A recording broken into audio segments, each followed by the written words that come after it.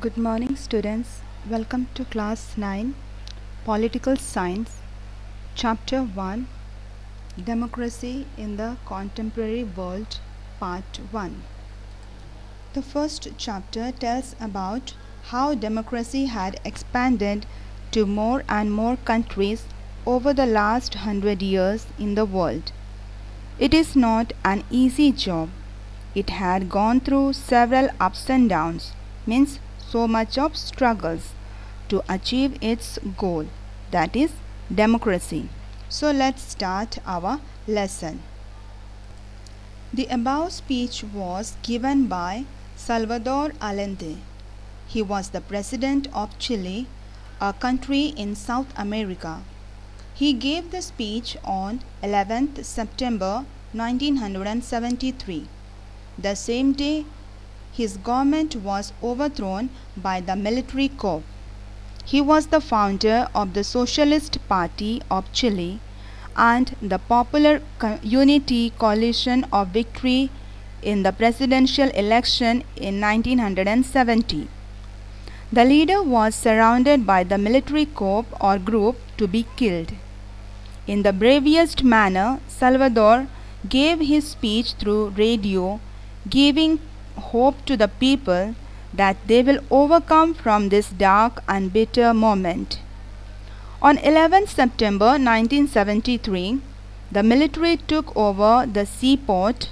The defense minister was arrested.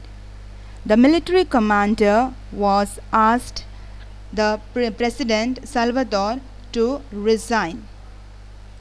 Here we see the President Salvador Allende refused to resign or leave the country. He could sense that some danger to his life as well as the country. He addressed the people through radio. The president's house was also attacked and the president died in that military attack. So, a government was elected by the people was overthrown by the military through conspiracy and violence. Actually, what happened on 11 September 1973? Let's see. The government of United States of America was unhappy with Salvador Allende's rule. So, General Augustus Pinochet became the president of the country and ruled for the 17 years.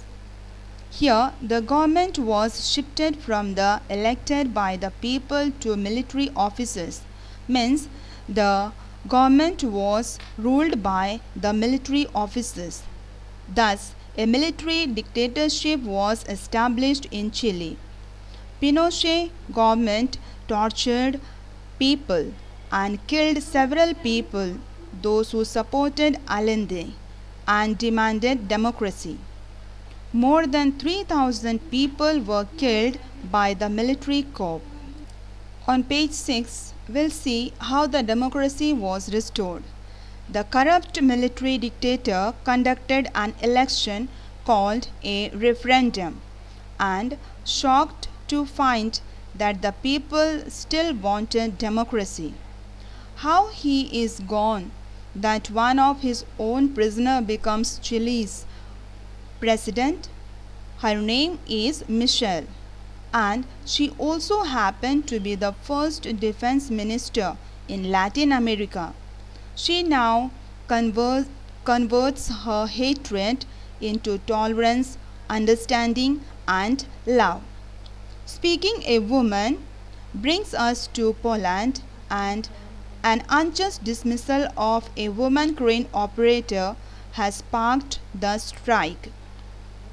Poland at that time is a communist country in Europe, a place where only one political party is allowed to rule.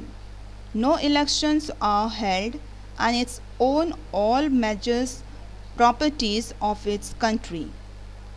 It's a strict place where nobody dares to speak against the government. The strike grew larger and larger. Poland's government had to give in to the demands of its people and allowed them to have a trade union.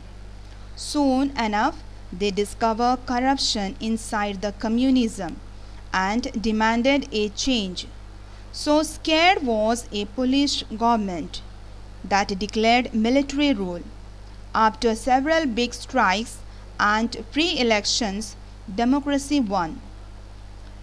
Lech Walesa becomes the president of Poland in October 1990. There were many differences between Pinochet's rule in Chile and the communist rule in Poland. Chile was ruled by a military dictator while Poland was ruled by a political party. The government of Poland claimed that it was ruling on behalf of the working classes. Yet, both had some common features. Let's see in the next slide. And the features are the people could not choose or change their rulers. There was no real freedom to express one's opinions. Again, there were so much differences in social and economic matters too. Allende preferred government control on all big industries and the economy. Walesa wanted the market to be free of government interference. From these two stories, that is Pinochet's rule in Chile and communist rule in Poland, let us draw some identity of democracy. That is, democracy is a form of government that allows people to choose their rulers.